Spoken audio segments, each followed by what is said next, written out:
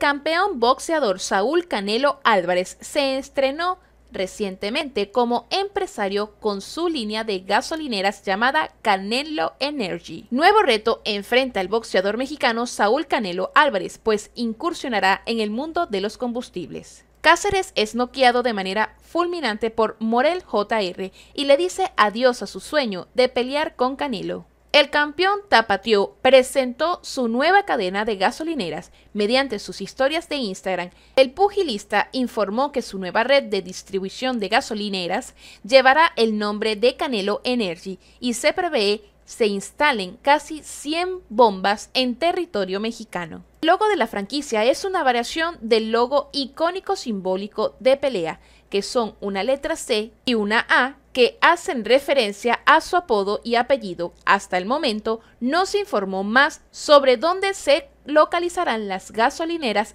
de Saúl Álvarez. Si presentó Canelo Álvarez su cadena de gasolineras.